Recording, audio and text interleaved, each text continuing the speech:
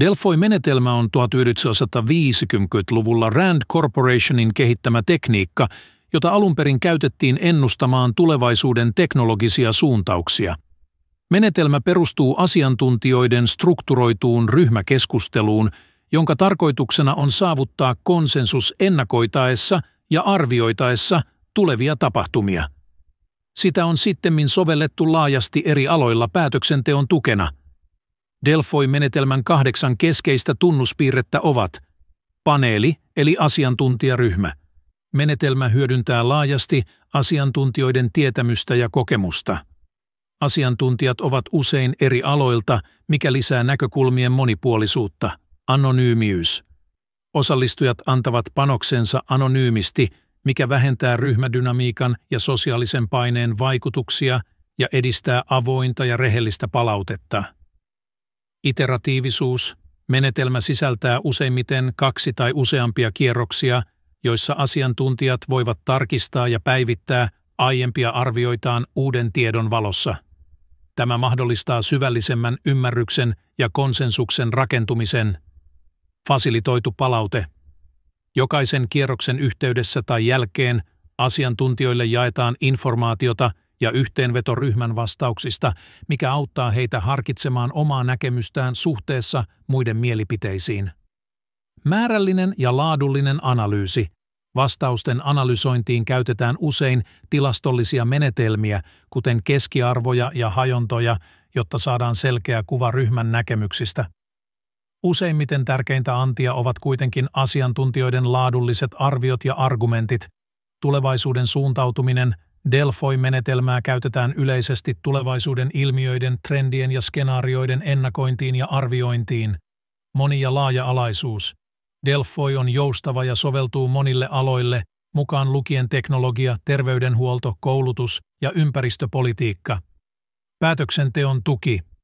Menetelmä tarjoaa päätöksentekijöille arvokasta tietoa ja auttaa heitä ymmärtämään monimutkaisia kysymyksiä ja mahdollisia tulevaisuuden suuntauksia. Delfoi on ainutlaatuinen yhdistelmä asiantuntijoiden tietämystä, ryhmäprosessien hallintaa ja tulevaisuuden suuntautunutta analyysiä, mikä tekee siitä tehokkaan työkalun monimutkaisten ilmiöiden ymmärtämiseksi ja ennustamiseksi. Menetelmä on eklektinen, mikä laajentaa menetelmän käyttötarkoituksia.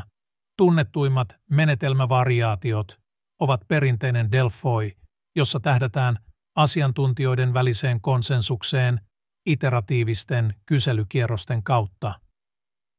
Real-time Delfoi, joka mahdollistaa nopean palaute- ja päivitysprosessin vain yhden kyselykierroksen aikana.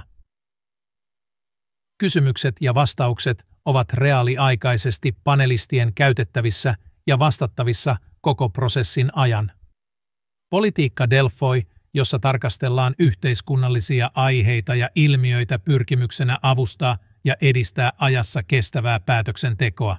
Argumentatiivinen Delfoi, jonka keskiössä ovat asiantuntijoiden toisistaan poikkeavat näkemykset ja niiden perustelut, eli argumentit, joiden kautta on mahdollisuus käsikirjoittaa ja piirtää monien tulevaisuuksien tulevaisuuskarttaa. Menetelmävariaatio sallii ja tukee dissensusta konsensuksen sijaa. Sähköinen Delfoi hyödyntää digitaalisia alustoja kyselyjen toteuttamiseen, fasilitointiin, analysointiin. Tällaisia alustoja ovat MEM, Edelphi ja XDelphi, jota tässä tapauksessa käytetään alustana. Digitalisaation edetessä ja tekoälyn sekä data-analytiikan kehittyessä Delfoi-menetelmän soveltaminen ja toteutus tulevat muuttumaan. Kehittyneet analytiikkatyökalut ja alustat kuten XDelphi voivat tehostaa tiedonkeruuta, analysointia ja tulosten visualisointia. Etenkin tekoälyn kehityksen uumoillaan mullistavan ja tehostavan menetelmää sen kaikissa prosessivaiheissa. Tekoälyn vaikutus metodin tulevaisuuteen on myös esimerkkitapauksen asiantuntijapaneelin aihe. Muutkin tekijät toki vaikuttavat siihen, miten menetelmä kehittyy seuraavien 10 vuoden aikana. Globaalit haasteet ja monikulttuuriset ympäristöt vaativat jo nyt laaja-alaista asiantuntemusta. Delfoi-menetelmän kyky koota ja hyödyntää monialaista asiantuntijuutta on tämän kehityssuunnan suhteen yhä tärkeämpää. Yhä monimutkaisemmat yhteiskunnalliset, taloudelliset ja ympäristölliset kysymykset vaativat aiempaa tarkempaa ja syvällisempää analyysiä, jossa Delfoi-menetelmä voi olla arvokas työkalu.